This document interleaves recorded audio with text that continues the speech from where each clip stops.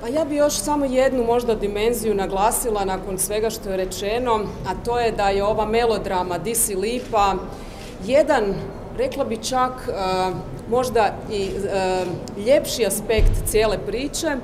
Milanović je nešto o tome rekao na presici. E, naime, Ivan Tudurić je bio sudac, visokog, sudac općinskog suda u Virovitici u trenutku kada se oduzimala Srbima imovina i e, možda sam nije sudio, to bi trebali novinari malo istražiti, ali je sigurno bio sudac u trenutku kada se 17 slučajeva takozvane jel, ogluhe riješilo u njegovo vrijeme. Znači, riječ je o tome o čemu moramo početi govoriti da nasilnici i e, veliki uh, domoljubi kao što je recimo Tudurić su 90-ih došli do svojih pozicija tako da su ne samo lagali što je ovdje evidentirano, nego zapravo sudjelovali u krađi i otimačini.